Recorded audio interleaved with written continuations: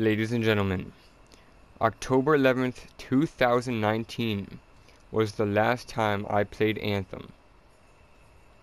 So everyone's asking me, why am I back to Anthem? Well, it's actually hearing all this information on YouTube about Anthem 2.0. So ladies and gentlemen, it has been that long since I've played Anthem. I haven't even touched the game of Anthem since October 11th of 2019. So I have no idea um, what I've missed in this game. And I probably forgot the controls, so bear with me if I play like crap. I'm sorry, it's been a while for me.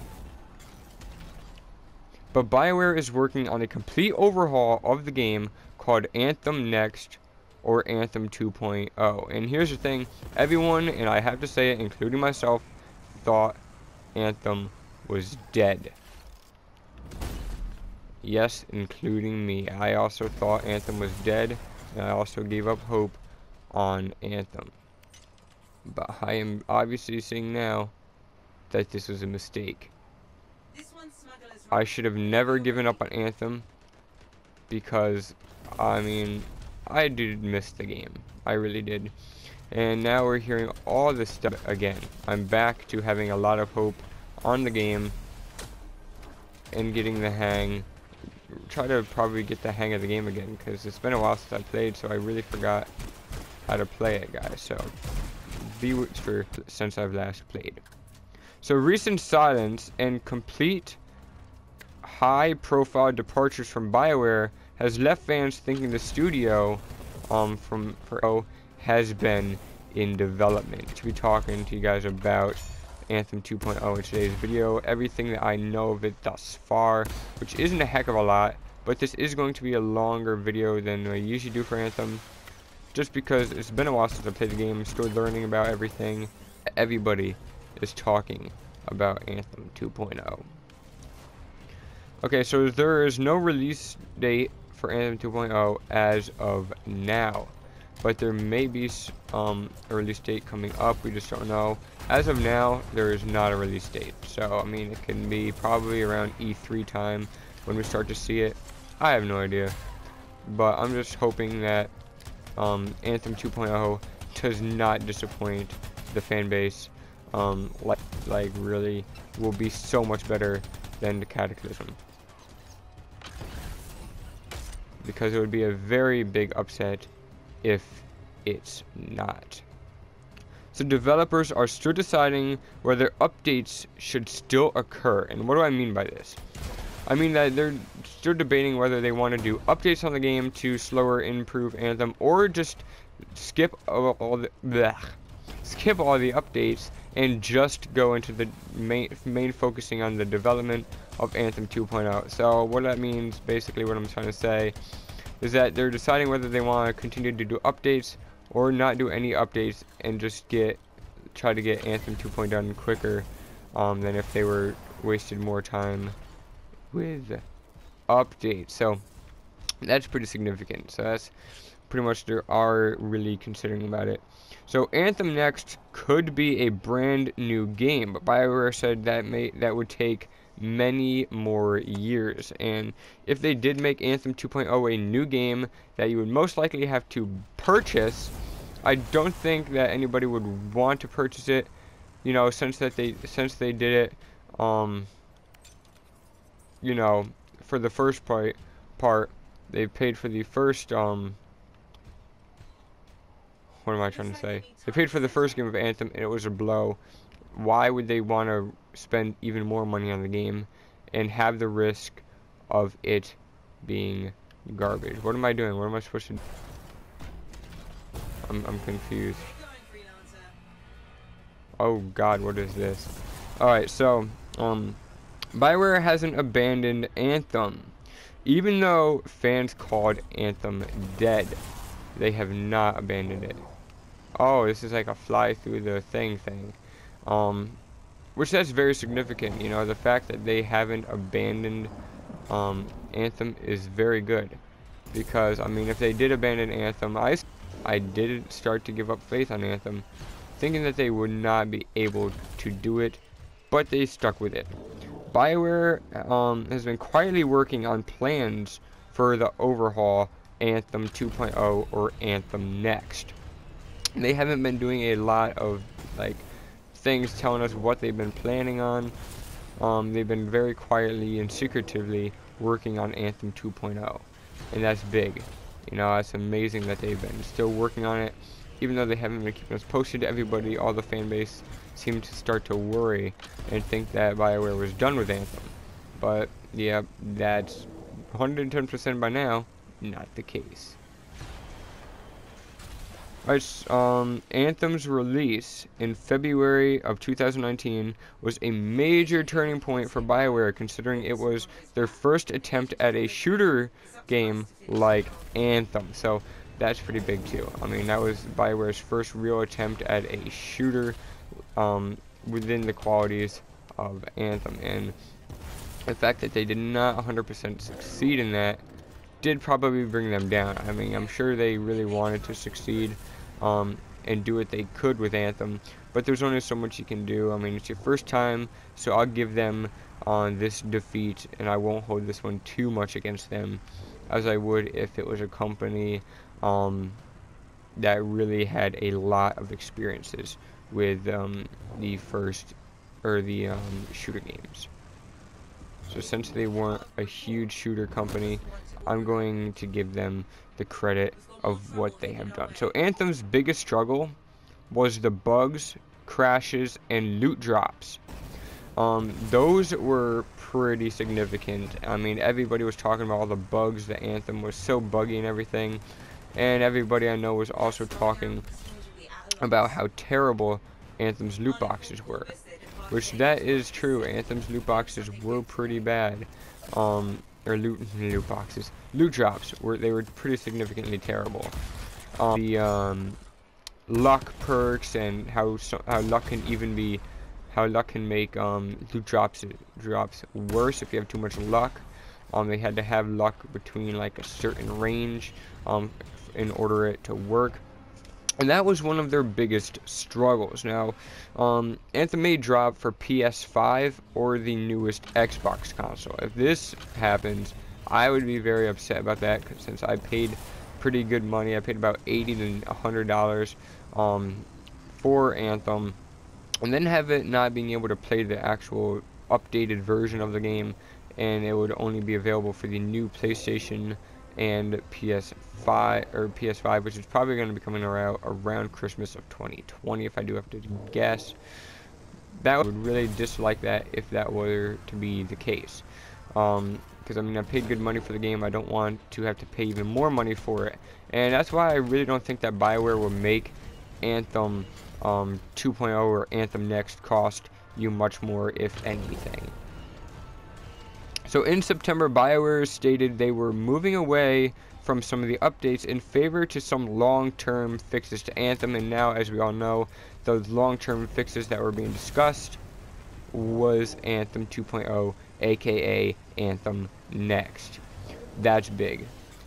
That's really big, and um, hearing that they've been just they've been going away from some of their small little updates, like a few minor bug fixes and glitch videos, stuff like that.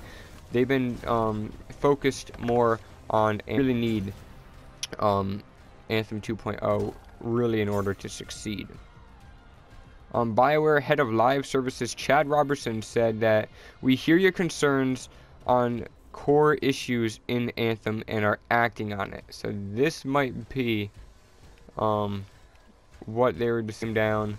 That they hear our concerns. Everybody wants new stuff, and maybe that they meant that we're going to get the new stuff that we've been requesting. A few months after that um, quote, Chad Robertson left BioWare following the lead producer Ben Irving, who'd left BioWare in August. That's pretty major. That's pretty big. That's a lot of their head, um, their head honchos, as some would like to call it, um, in BioWare and EA that are actually that left their company um, for pastures new, and it's pretty it's pretty significant that they've done that.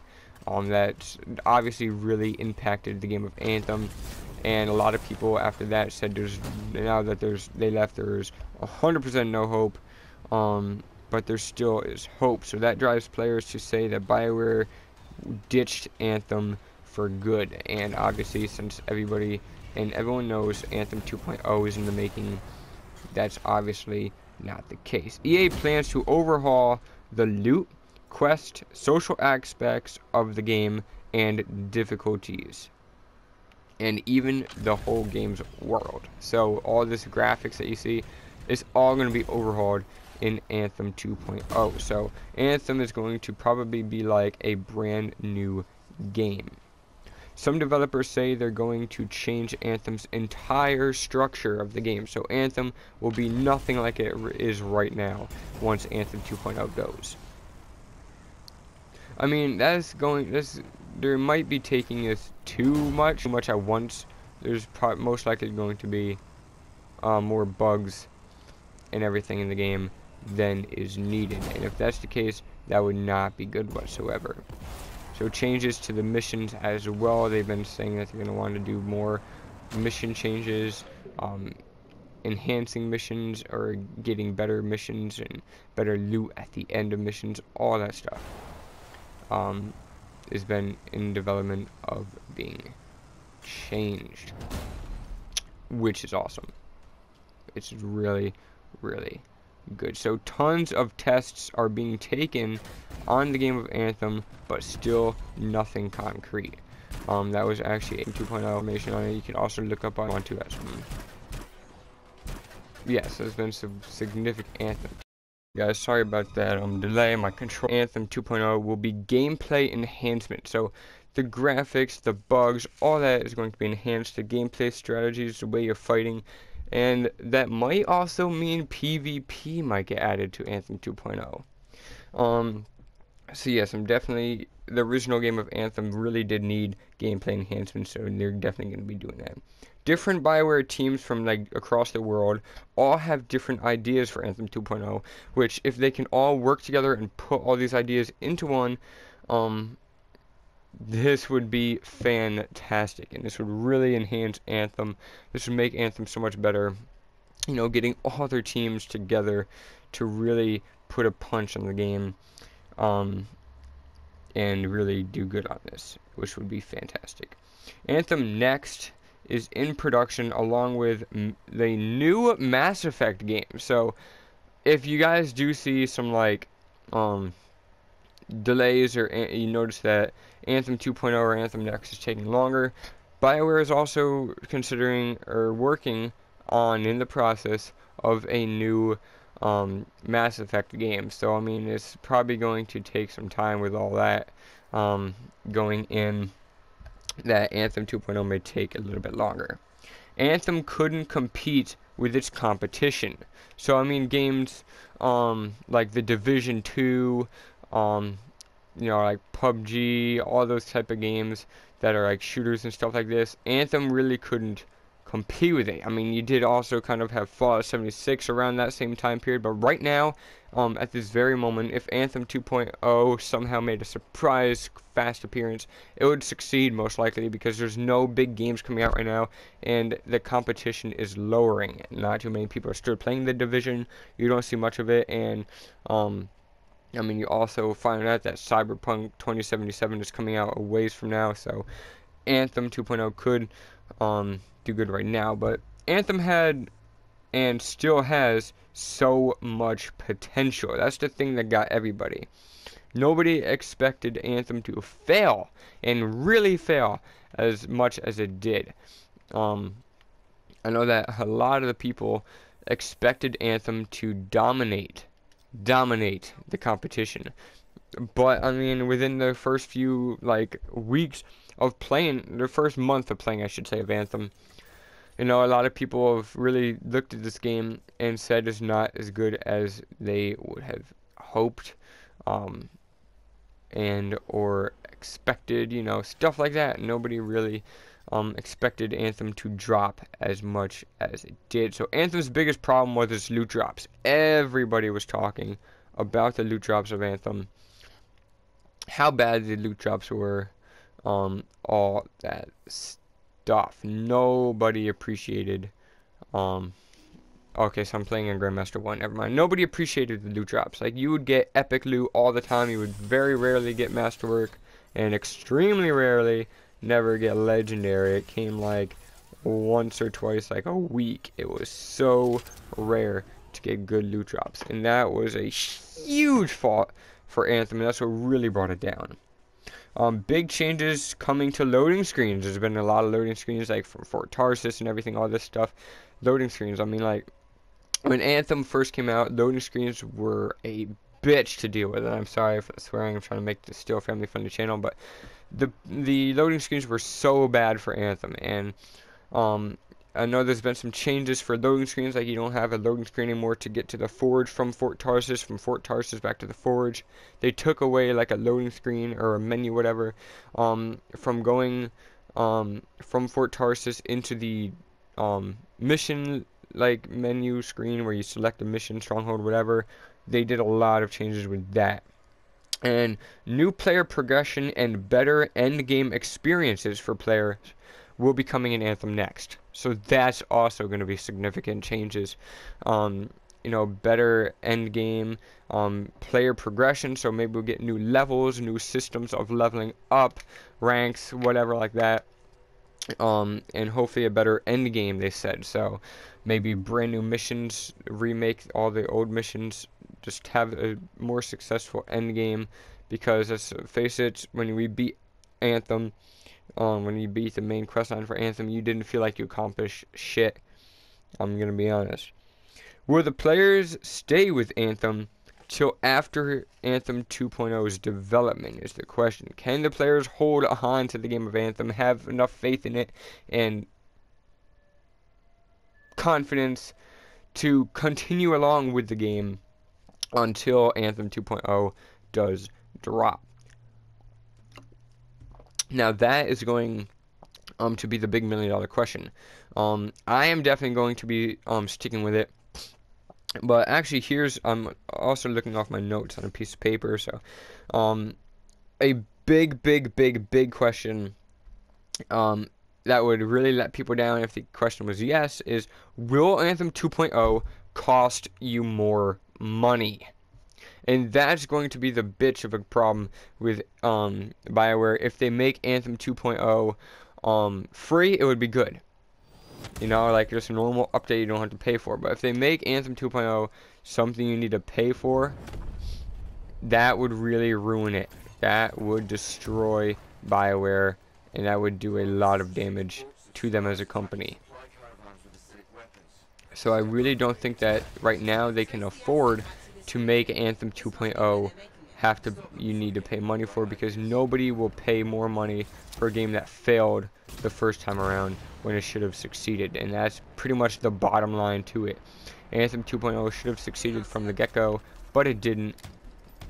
And that's probably going to be if not my, my opinion the biggest problem um, for Bioware. You know if they make Anthem 2.0 you know, needed to pay money in order to play it would be a major, major letdown. Until Anthem 2.0 drops, BioWare will continue to throw Cataclysm events our way to keep us busy. Um, they're going to continue to throw us old Cataclysm um, events and missions and everything um, to try to keep us, you know, playing the game. Um, you know, before Anthem 2.0 drops, because that would be a letdown, you know, they work so hard on Anthem 2.0, and then by the time they launch it, nobody still plays Anthem 2.0. That would really hurt BioWare, and, I mean, that's pretty much one of the big causes there, is that they're afraid that people might get bored of the game since no Upton 2.0 drops. Um, there will be major changes to the game's difficulty. So difficulty, whether that means loot drops, changes, um, depending on your difficulty, you'll get more loot drops. I don't know if that's what they're talking about.